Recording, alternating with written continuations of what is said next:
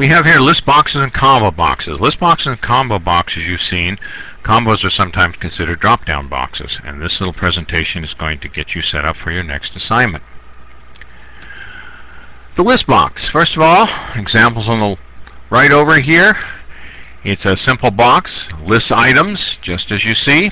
Um, if the items become too long, then it, you end up with a scroll bar over here on the right hand side.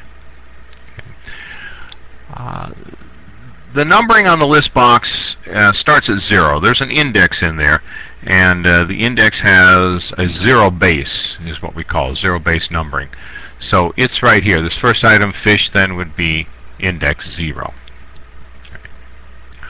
There are a number of methods to use on list boxes to get things out of it and to find out things and to remove things. And the methods are going to be described in a little more detail in a few seconds here. Um, you place the name of the list box in the front of it, and then you put a period to do it. An example is right down here. If you look at this one, for example, um, if I was going to use list shop as my index, then uh, I wanted to get the item that was selected. I would say list shop dot li uh, list shop list is the name of my list. Then I'd put a dot. Right there's the dot, and then I put a selected item. That would be I would getting be getting the selected item. And notice it has to be returned into a string variable. If you don't want to get the item, if you just want to get the number of the item, in the list, you use an index or an i, an integer variable here, and the same thing. Uh, the name of the list box first, it's period right there, and then get selected index is how you do that one. Okay. So, uh, here are some examples of some list box methods. If we wanted to add something to a list box, uh, we would say the name of the list box again right out here in the front just like we did before. And then we'd say items, and then we'd say add. Under the items, there's a number of different things you'll use. So if we want to add something, we put in parentheses the item we want to add. This whole thing's added to the list box then. To remove an item, again, the name of the list box, the word items, and then the word remove, and you can get the exact match. It's got to match exactly, including number of spaces. It doesn't look like that here, but that's because the font I'm using compressed some of the spaces when I copied it down. At any rate, if it matches exactly, then it will remove the item.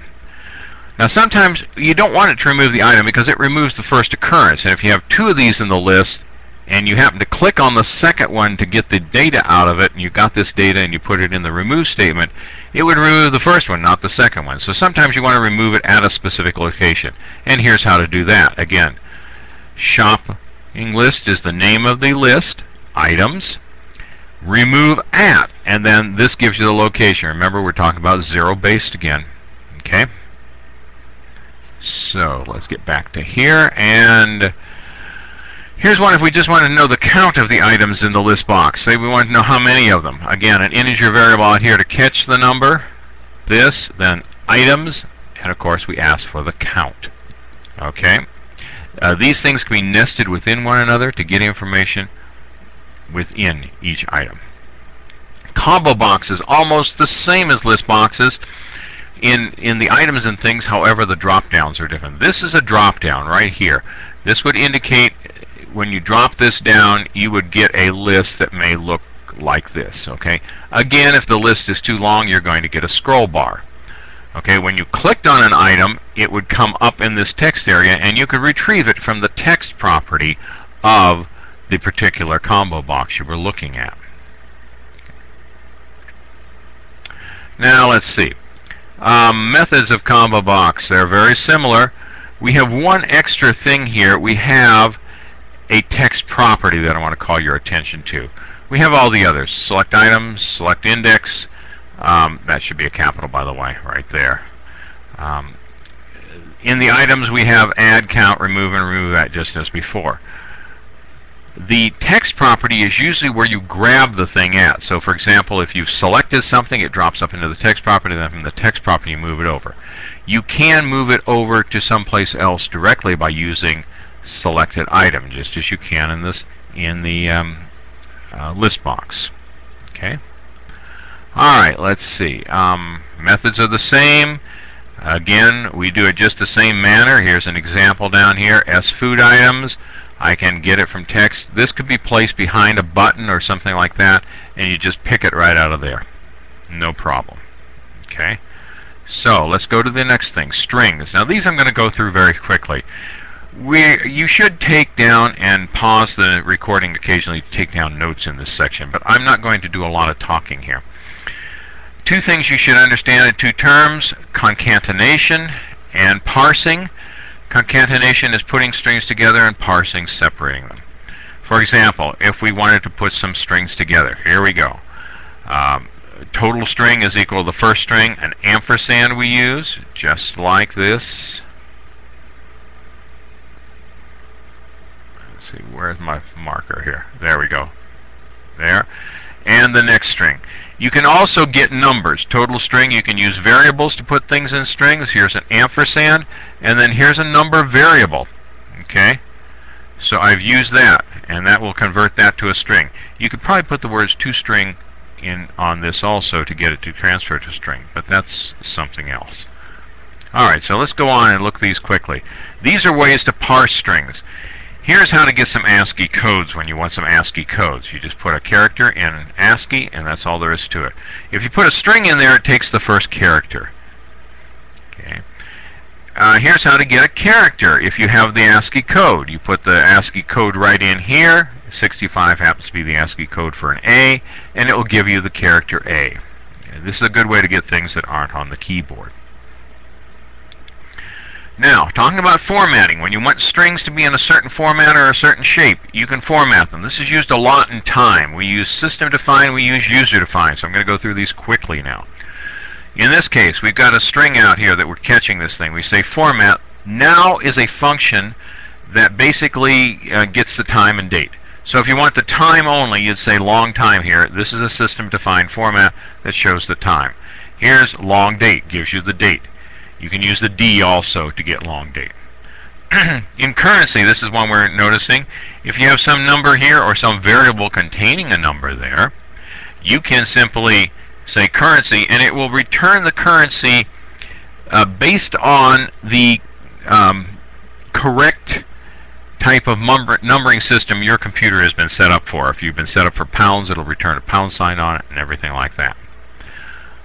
Uh, you can use numbers now. Here are some, some standard ones with numbers. Uh, you can use numbers. You get a thousand with the general. This is what goes in the quotes.